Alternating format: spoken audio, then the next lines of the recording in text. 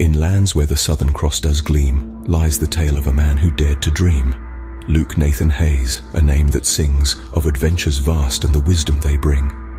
Born under skies where Ophiuchus lies, with a gaze that pierces through the earthly guise. A child in Ningi where wild forests call, amongst the brushwood he learned to crawl. With games of Tiggy and hide and seek in nature's cradle, his spirit did peak. A python's dance in the cradle's shade marked a life where fear never stayed. Bodyboarding waves, where cyclones roamed, on Minjerribah's shores his spirit combed.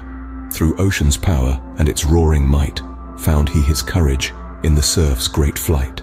In a world of screens and the virtual maze, his mind ventured forth in the tech's bright blaze.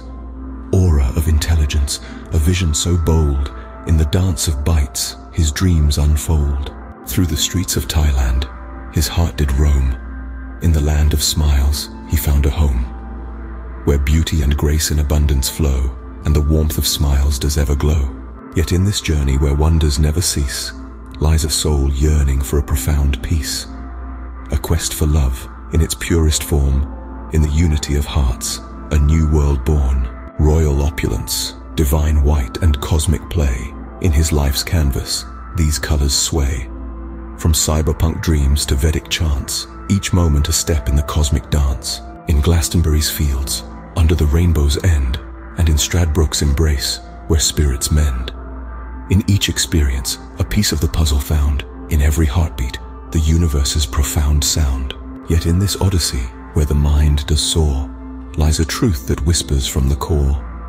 That life's grand tapestry, in its endless weave, is but a reflection of what we believe.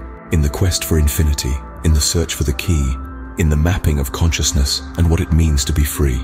Luke Nathan Hayes, a voyager of time, in each step, a purpose in each word, a rhyme. So here's to the dreamer, with eyes on the stars, who finds beauty and wisdom in life's scars. May your journey be filled with light and grace, in the endless adventure that is the human race.